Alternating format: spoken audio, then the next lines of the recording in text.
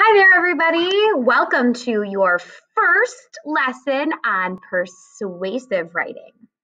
So before we can actually write persuasive, we have to wrap our heads around what is persuasive writing. And you might also hear someone say opinion writing.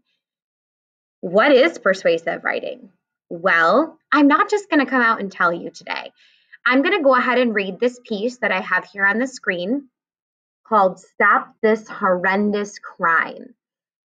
And you're going to listen and think what is persuasive writing? How is the author writing this and what is it sharing with me as a reader?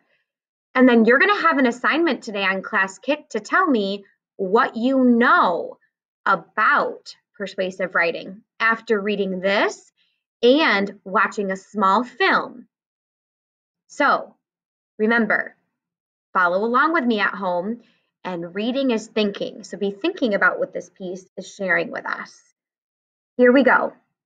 Stop this horrendous crime. Do you believe that animal testing should be performed? Only a fool would think that animals should be tested on. Animals will be injured during the testing process. They shouldn't be treated like guinea pigs and the results will always be different on humans than animals. These tests are not even accurate because animals and humans are completely different. Firstly, the results of tests on animals will always be different than humans. All the scientists that do tests on animals should know that the results will not be the same as with humans. It is crazy to think that just because they got get good results on animals that they can put their products on sale? How do they know that humans won't have a reaction to the product? Think about this. Do you honestly believe that these poor, defenseless animals don't get hurt by these tests? Well, if you do, you're wrong. Animals go through being poked and prodded by needles and getting poison put into their bodies. How would you feel if you were locked up in a cage and lathered in weird lotions and potions all day, every day? Thirdly and finally, animals, we're right here, animals should not be treated like test subjects.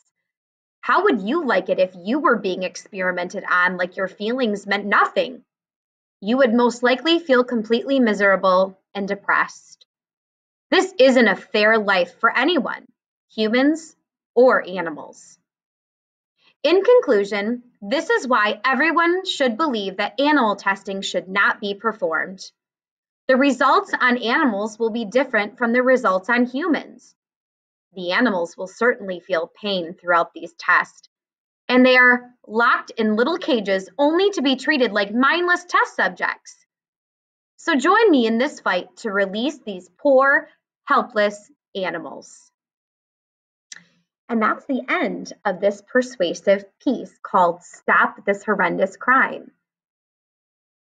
So, what did the author do? Well, in this piece, the author took a side, and their side was not to keep animal testing, they want to ban animal testing and get rid of it. They gave an introduction stating that with their three reasons and then they gave a first reason with support, a second reason with support, and a third reason with support. And then they concluded by restating their reasons. I love how the author used transition words through their middle piece. All things to notice about persuasive writing. What did you notice about persuasive writing? How many paragraphs? was this piece.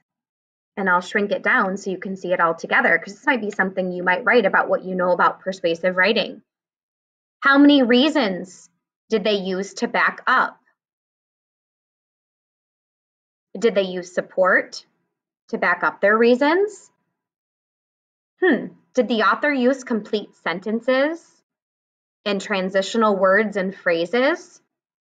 Did they use some good vocabulary terms? Did they start off with a hook for their introduction? and a wrap up for their conclusion. So today after you leave this video, you're gonna watch a second video on persuasive writing. It's an introduction to persuasive writing. I want you to think about what you saw here today and heard about this persuasive piece. And then I want you to watch the video about persuasive writing. And then you're going to complete your assignment on Classkick and tell me at least eight things that you know about persuasive writing. You can talk about how it's written, what the writer does in persuasive writing. This is definitely not a fantasy story or a historical fiction story. It's where someone chooses a topic, they pick a side, and they try to persuade someone to believe what they think by using reasons and facts to back it up. Remember some of those things when you fill out your eight things you know about persuasive writing on your assignment on Classkick.